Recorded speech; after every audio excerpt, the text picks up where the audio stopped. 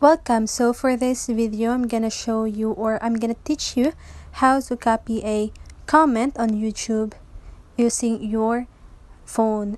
I, if you are using Android or iOS, that's okay. You can follow these simple steps.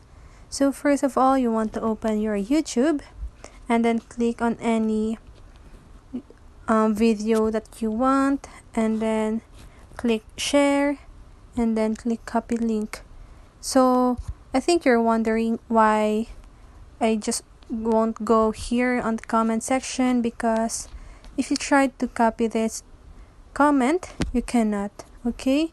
So just follow these steps so that you can copy this comment okay? So after that go to any browser that you want.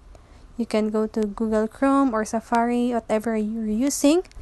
So go to the go to Safari and then paste that link that you copied earlier and then just wait for a while.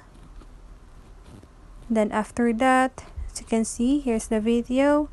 Then you can click comments and then scroll down until you see the comment that you want to copy.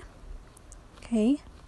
So wait here so for example this one so you just want to long press on that one and then highlight the comment then click copy then there you have it I hope this video helps and if it did make sure to like and subscribe and hit the bell notification so you won't miss a video.